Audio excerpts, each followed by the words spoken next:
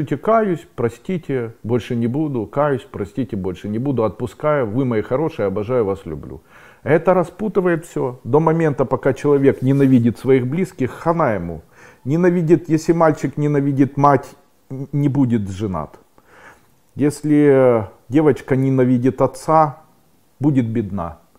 Если мальчик ненавидит э, э, отца, будет беден. Если девочка ненавидит мать, то замуж не выйдет, будет плохо, будут всегда плохо к ней относиться.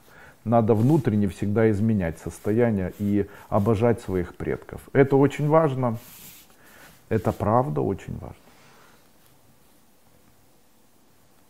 Поэтому собирайтесь, едьте к близким.